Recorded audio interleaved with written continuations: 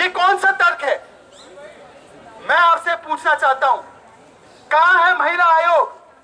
ये महिला आयोग आशुतोष को तो उन्होंने मेरे पार्टी के नेता नहीं, आम आदमी पार्टी के। आशुतोष को 10-10 नोटिस भेज दी कि उन्होंने एक लेख लिखा। शरद यादव को नोटिस भेज दी। अलग अलग लोगों को नोटिस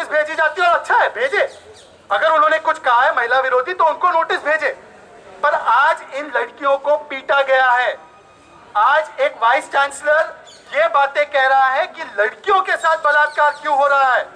आज वही वाइस चांसलर ये कहता है कि लड़कियाँ जो रात को पढ़ती है, उनके चरित्र पे सवाल उठता है। और हमारी राष्ट्रीय महिला आयोग कहाँ है? कहाँ है